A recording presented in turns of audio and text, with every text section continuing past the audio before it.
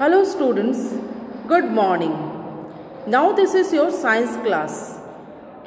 Students, from today we are starting revision work. Revision work of science. Okay? So, students, the first chapter is bones and muscles. First chapter is bones and muscles for the second unit test. So we will start from here. Today we will practice very short type question answers. Okay? You listen carefully and memorize all this. 1. Number of bones in human body. Numbers of bones in human body. The answer is 2000 sorry 206 number of bones in human body is 206 okay? Next is number of muscles in human body that is more than 600 number of muscles in human body the answer is more than 600 Third one is what do we feel something hard under the skin? What do we feel something hard under the skin? The answer is bones. Question number 4. What do we feel something soft and fleshy? Under our skin. I'm repeating. What do we feel something soft and fleshy under our skin? The answer is muscles. Okay? Below skin we have muscles. Number 5. What is found between our bones and skin? What is found between our bones and skin? The answer is muscles again. The answer is muscles. What is the spelling of muscles? M-U-S-C-L-E-S. I think you have written all these things because in classwork we have done this all. You take out your copy where you have written then you listen me and practice this. Number 6. What do the bones together form? What do the bones together form? The answer is skeleton. The bones together form. What do the bones together form? The answer is skeleton. Okay? Come on to 8. What is our heart made up of? What is our heart? What is our heart made up of? So, our heart is made up of strong muscles. Our heart made up of strong muscles. Number 9. A framework of bones that I have given still it is uh, asking in different way. A framework of bones that is also called skeleton. The answer is skeleton. Okay. What do the bones together form and uh, what the question is uh, um, what do the bones together form and a framework of bones are same? The answer is skeleton. Number 10 what is necessary to keep our muscles and bones in good shape? What is necessary to keep our muscles and bones in good shape Yes, the answer is correct posture. See, I am sitting straight. Okay, this is good posture.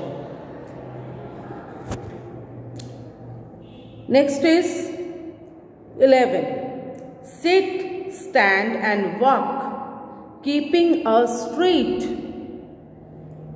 What? Keeping this straight. Sit, stand and walk, keeping this straight. Keeping bones straight.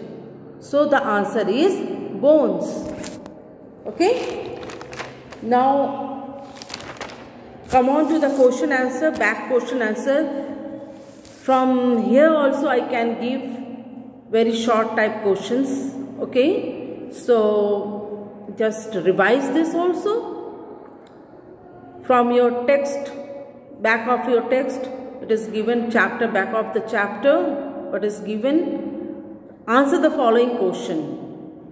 Though there only short type question answer will come, only MCQ will come in different forms. Maybe MCQ in the statement, the statement and the options will be given. Uh, true or false, the options will be given.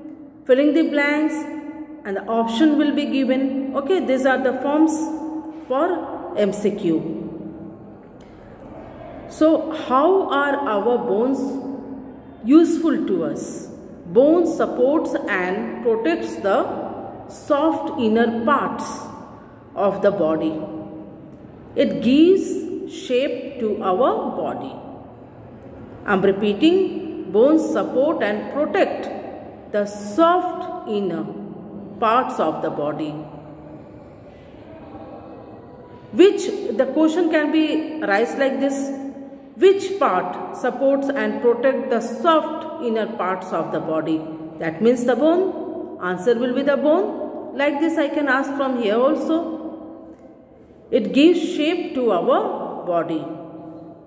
Which part of the body gives shape to our body? Bones. Okay. Number two, why is a correct posture important? Correct posture is necessary to keep our muscles and bones in good shape and help us to stay healthy. Now question number 3. How can we make our bones and muscles strong? How can we make our bones and muscle strong? Answer We can make our bones and muscles strong by doing regular exercises. Okay? We can make our bones and muscles strong by doing regular exercise. Number 4. What is posture?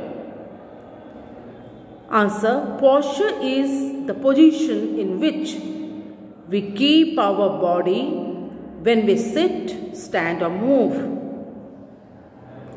Posture is the position in which we keep our body when we sit, stand or move. For very short type question, for very object, objective type question, I can ask like this. Okay like uh, uh, which is uh, the position the position in which we keep our body when we sit stand or move. What will be the answer? That is posture.